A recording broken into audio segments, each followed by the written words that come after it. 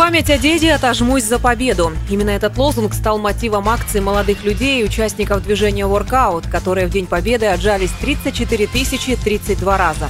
Эта цифра была выбрана не случайно. Именно столько часов длилась Великая Отечественная война. Принять участие в необычном действии мог любой желающий, даже девушка, которая просто проходила мимо. Продлилось все действие несколько часов, после чего ребята подкреплялись полевой кашей и наслаждались концертом, также проходившим на фестивальном причале в честь Дня Великой Победы.